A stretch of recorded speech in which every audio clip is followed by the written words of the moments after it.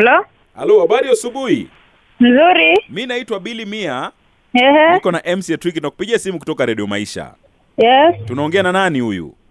Naongea na Naomi. Naomi, umeamkaje? Nimeamka mzima. Uko wapi Naomi? Niko Moi's Bridge. Oh, Moisbridge uko Chabarus. Ah, Moi's Bridge tu town kwenyewe karibu Oh, Kitale. kwenyewe. Ukiangalia Eh. hivi unaona tu hiyo bridge. Eh. So unaona kesi yako, Eh. unasema kesi mashinani, my name is Naomi, please help my marriage, it's falling apart. Yes. Naomi, kwani una miaka mingapi wewe? Niko na 27 years. Bwanako Ako na 34. mmeona miaka mingapi kwenye ndoa? Miaka sita sasa. Six good years. Mm. Watoto Wawili. sasa, miaka sita ndoa, watoto mm. wawili, na unaniambia kwamba tukusaidie ndoa. Shida iko wapi na Sasa shida sijui ilianzia wapi. Mume wangu amenisomesha, tumeishi vizuri. Wow. Lakini sasa imefika mahali siku hizi hatuelewani kwa nyumba, kugombana ovyo ovyo. Chanzo cha vita ni nini? Ah, sasa ilifika mahali kuna juzi tu nikaingia kwa simu yake nikapata ana chat na wasichana. Wasichana inamaanisha ni wadogo. Ah, sasa siwajui ndio vizuri, lakini naona tu ni sijui ni wasichana tu, Wanachat mambo gani? Mambo ya kazi, mambo ya nini? mambo ya mapenzi tu, vile wanapendana, vile anawapenda. Na ukiangalia ulikuwa washamit, Ah, wajai meet ni ile tu kuongea. Ni eh. wanawake wa karibu. Sasa sijui, lakini kuna mwenye alikuanga hapa karibu namjua, lakini nasikia alitravel akaenda outside the country. Unadhani mke wako mume wako anatoka nje ya ndoa? Sasa hiyo sijui, Mm. lakini imefika mahali hatuelewani kwa nyumba, tunakosana kila wakati, tunanyama, hata tunaweza kaa hata wiki hatuongeleshani. Ah. Wiki. Sasa wiki amwongeleshani na watoto akiwaongelesha Ah, Sasa si unajua akifika labda jioni akae tu na watoto acheze nao so anaambia mtoto ambia mama nataka maji, mtoto anakuja na kuongelesha. eh, that is so bad. Kama Umesha- uko na watoto. Umeshawahi muuliza kuhusu hizo message? ya tuliongea naye hata the same day vile nilipata, tukaongea naye akasema atawacha. Oh, Hata rudia alikubali tena. makosa. Eh, alikubali makosa. Unadhani nakupenda mme wako? Ndio, na nilijua alikuwa ananipenda, lakini siku hizi sijui kweli, kwa sababu imefika mahali hata tendo la ndoa hakuna. Ai, ni muda gani tangu upate? ni muda, inakaa muda, anaweza kata miezi mbili, kama tangu nijifungue tukakata karibu juzi tu tena, na nikimuuliza anasema tu yako sawa, na shida. Ah, ah, Hebu ngoja. Ulijifungua mwaka gani? Nilijifungua last year mwezi wa nane. Mpaka leo Ah, mpaka ilikuwa hivi majuzi tu wiki hii ama wiki iliyopita last, nikidhani ni wiki mbili zimeisha. ndo akakupatia. Mm. Ilikuwa strong ama hafifu? Hafifu tu, si ile tu, ni kama anajiforce. Sasa sijui, Na ukimuuliza sasa, mme wangu, mbona unanifanya hivi, anasemaje? anasema tu yako sawa, hakuna shida. Ai, ama anapata nje. Sasa hiyo ndio sielewi kweli kabisa, sijui. Inafika mahali hata akikuja kwa nyumba anaweza kaa chini aweke movie afro awatch mpaka hata saa nane ya usiku. Nikimwambia sikuja ulale, atuacha tu inaisha, nakuja. Atakuja labda saa nane kulala ama saa saba. Hebu ngoja, mke wako mrembo kitandani na DJ Afro anachagua DJ Afro. Mm. Wah, Ah, nimechoka. Sasa ushaongea na wazazi wake ama mzazi wako ama mtu ambaye ana karibu naye amwongeleshe? Sijaongea na mtu yoyote kwa sababu ya hata ana hayuko karibu na wazazi wake.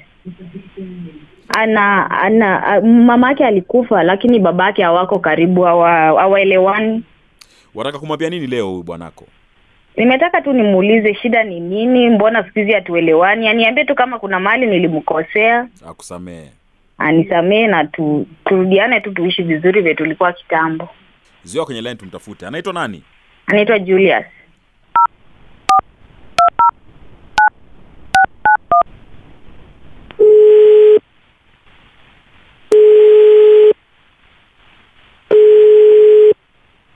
Hello? Julius. Yes, Habari yes. asubuhi. salama. Mimi naitwa Jackson. Uh-huh. Sasa uh, mi ni mshauri wa ndoa uh, na niko na mke wako hapa hivi, nataka aongee na wewe kidogo. yes, Hebu ongea na mke wako tafadhali, alafu utoke mahali pa kelele tafadhali. yes. Hello. Hello? Mhm. Hello babe. Mhm. Mambo. Salama. Endeleaje? Si mbaya. Sasa mi nilikuwa nauliza kama nimewahi kukosea, mbona siku hizi unanifanya hivi kweli? Aje. Auongei na mimi, hautaki kusikia maneno nasema. Mm. mm-hmm. Tatizo penye iko ni Sasa sindo nimetaka kujua. yeah. Mm. na wewe mwenyewe umejiuliza kuna tatizo? Mi najua hakuna tatizo. Sasa sindo nimetaka we uniambie ndo nijue kuna kama kuna tatizo. Mm. Mm. Sasa mi sijui tatizo, we mwenyewe ndo unajua kwa sababu mimi sija tujakosana wapi? Julius, Yes, sir.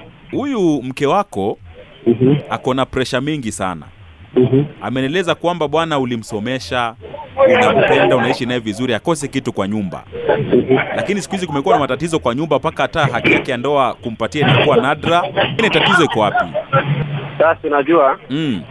hata yeye mwenyewe ndio inafaa ange hajawahi kaa hajawahi kaa chini aniulize tatizo iko wapi ama Sasa ndo mimi kama mshauri wa ndoa, Alafu mimi kama mshauri wa ndoa amepata nguvu ya kukuuliza, pengine tuweze tusolve kitu ili muendelee na maisha yenu vizuri. Mm. Kuna Alafu tatizo fulani. Sasa si unajua mambo madogo madogo tu huwa inachangia. Tafadhali nieleze mawili tu. Mimi nimetoka kazi, nimeenda asubuhi, na. narejea narejea jioni. Kufika jioni, unapata mtu amekukashirikia, unakosa sababu Anakasirika bila sababu. mtu, bila sababu. Mtu amekunyamazia, ukiongea mtu anakujibu vile anataka. Ah, ah, haifai. Uta, utajibu utafanya nini? Ina, ina, inauma sana. nime- Nimeenda kwa mfano, nimeenda kazi Eh.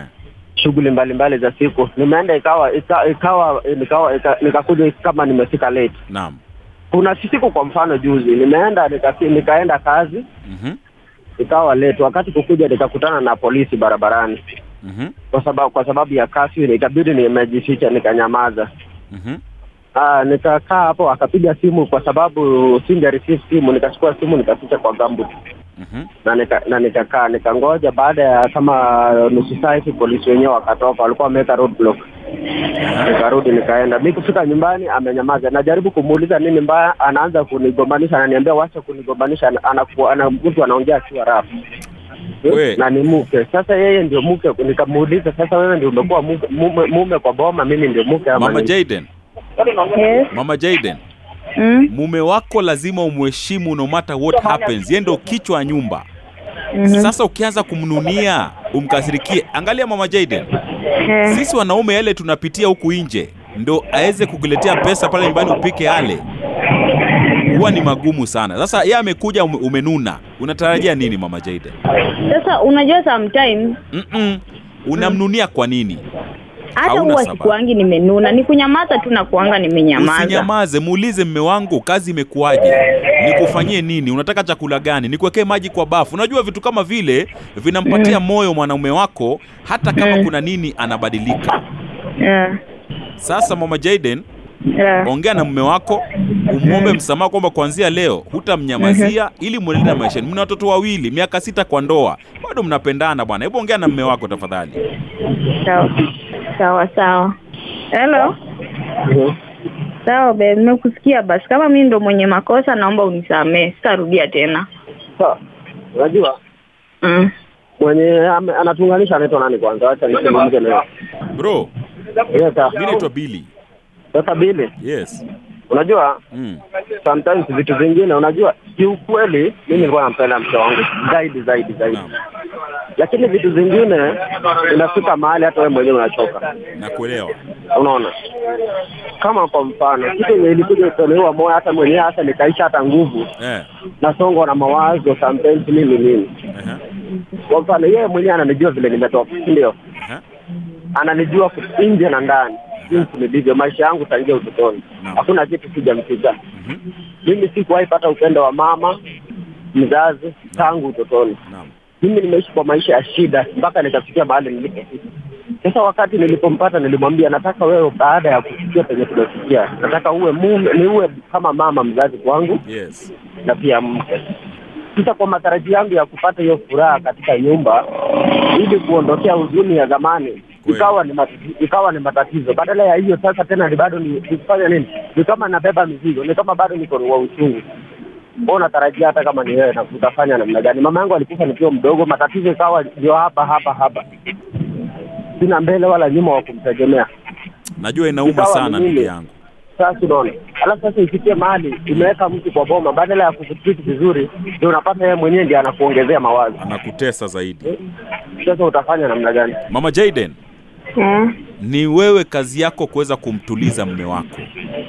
Mme wako anakupenda, amekusomesha. Watu wengi husomeshwa na hawaishi nao, na ashakwambia bwana, yeye ni mtoto ambaye hana mama. Wewe ndio ungekuwa kama mamake katika maisha yake. Ukimwongezea matatizo, atajua basi wanawake ni wabaya, na atakuwa mbaya zaidi, na atapata uh, akuwe comforted kule nje, wewe akuache. Kwa hivyo mama Jaden, leo mume wako akirudi, Eh, tafadhali muombe msamaha, mpikie his favorite food, alafu mwombe msamaha, kisha umpatie katiba ambayo hujaimpatia maishani yako yote, ili msameane. sawa sawa. Oya bro, msikize mke wako, mwambie ile matatizo yote ambayo atakuwa ambao upendi, ili aache, muendelee na maisha yenu. Sawa kaka, Sawa sawa, Shukrani sana kuweza kuongea nasi. nashukuru. As-